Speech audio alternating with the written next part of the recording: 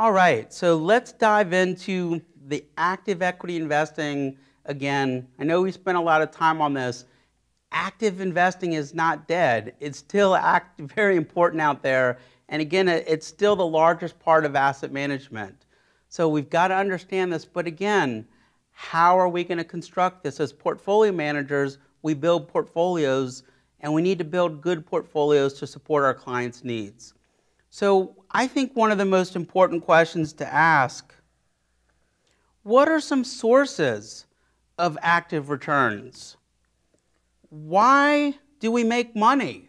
Why do we not make money? So what's going on? It's important to be a detective here and really tackle this question of active returns. Well, academic research seems to support that if we get enough of the good factors, we're going to be rewarded with excess return. You know, what we talk about the hunt for alpha. You know, anyone that's in portfolio management, you're hunting for alpha. You want to find some excess return that you're getting by spending the same amount of risk that someone else is using. So again, if we get enough of these positive factors, we're going to be rewarded with excess return. Now, speaking of excess return, I want to give you something, kind of help you with this a little bit, this concept. So when I started out as a fund manager, I primarily focused on the large cap space. And what I found, and my team found, and other professionals had found this as well, but we tended to actually make a little bit of alpha by investing in founding uh, firms. So, you know, companies like Walmart, people that had strong family backings, and Dell, they tended to make a little bit of alpha. In fact, it was about 1 or 2%, sometimes even more. And we kind of thought we stumbled upon an anomaly. And this is how I outperformed my index for many years. Now, it didn't happen until about 12 years later.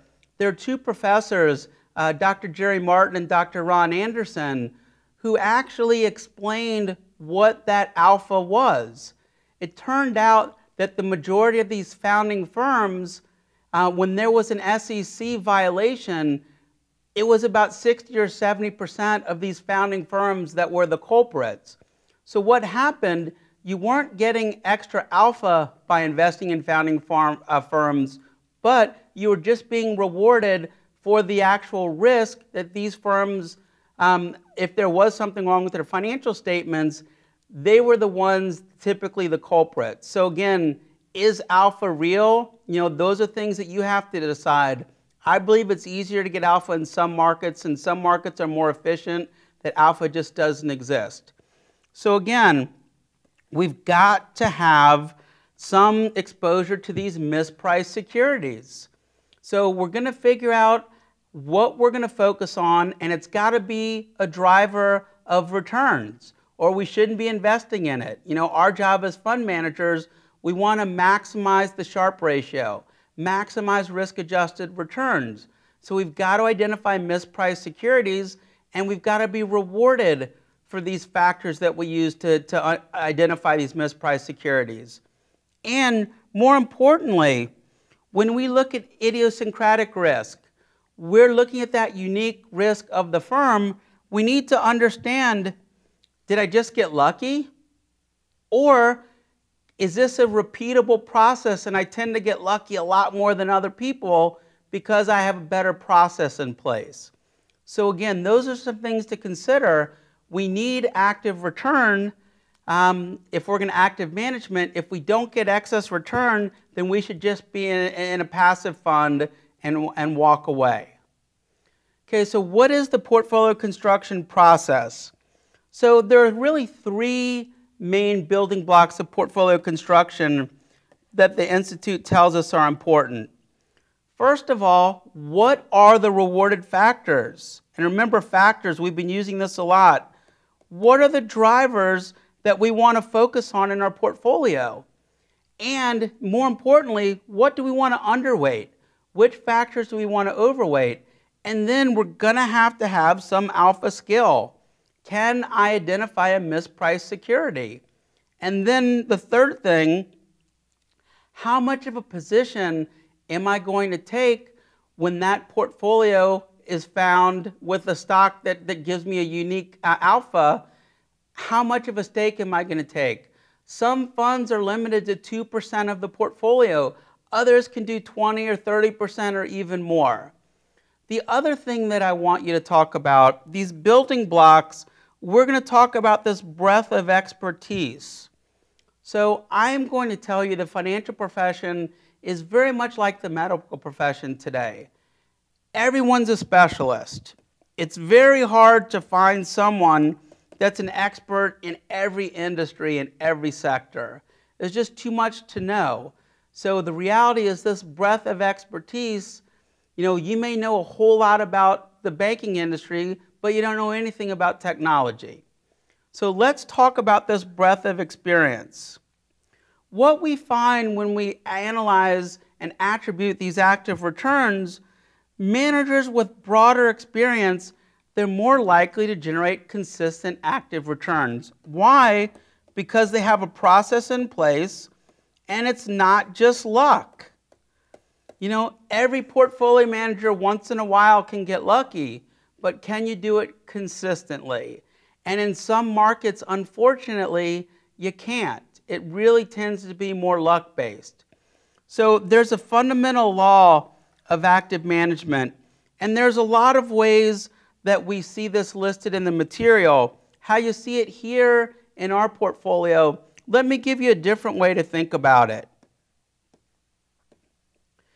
So when we're looking at your expected return, this informational content, this IC, what this is telling you is you are being rewarded for being right, and you're getting full value for this. Breadth, I, the easiest way to think about it, this is how many decisions you're making. You know, if I send out 100 stock picks a day, a couple of them are going to be right, and a lot of them will be nothing, and some of them will be really wrong. So we discount this breadth by taking the square root. So the reality is, being an expert at what you're doing and actually being right, that is going to impact your IC, whereas just throwing out random stock picks and see which sticks and which is successful, you're not going to get full credit for that. So again, this is the fundamental law of active management. It's tested in a number of different ways, but just realize it's taking in effect the quality, you know, are you right or wrong, and then how many predictions you're making. And what we find, there is a direct link between breadth and expected outperformance, which makes sense. If I make a lot of picks, hey, I'm going to get right once in a while. Um, brings me to a question, or I should say a thought that I had on fantasy football. So a few years ago, I decided that I was going to compete in, in my friend's fantasy football league. And not only was I going to compete, but I was going to win. So I got all the data, all the reports, everything I could think of, and I made a lot of predictions. So, yes, I was right sometimes. Yes, I was wrong sometimes. So, how I could find myself being a better fantasy football analyst, I picked more games. I had more chance of being right. So, this link between breadth and expected outperformance, it makes sense. But you also have to realize if I make a lot of picks, maybe four of my picks are not very good, but that one might win. Same thing with stocks. You might pick 20 stocks and five of them do really well, you know, five of them do poorly and the rest kind of meander along. So we think this higher breadth should lead to higher active return, but at the same time, you have to pick investments and you have to be right sometimes also. Breadth doesn't do it by itself. Okay, so let's talk about some portfolio construction approaches. Most investment approaches can be systematic or discretionary.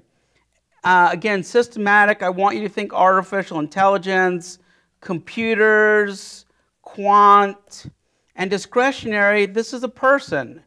There's some human being involved in the process. They also can be rules based or opinion driven. They can be bottom up or top down. They can be stock specific versus macro. There's so many ways to construct a portfolio. The question you have to decide is what approach are you going to use? And more importantly, what are you going to stick with? I can tell you when you've been in this industry for a while, there's going to be sometimes large cap values out of favor. There are going to be other times you're really happy you're a large cap value manager. No approach works every time, but you have to be consistent. If you're always chasing the, the right approach, you're most likely never going to be successful. So let's talk about at the end of the day, once you go through all this analysis, you are going to have to execute. Just like in sports, you can practice all day long, but at some point you have to go to the game and you got to win that game. So let's talk about portfolio construction with unfortunately a lot of constraints. And remember from our earlier section, you know, the TTLLURR. So we've got our constraints and our objectives. These can be absolute. Hey, earn me 5% or more a year. Or they can be relative. Hey, outperform the S&P 500, outperform some benchmark. Some constraints may focus on minimizing risk.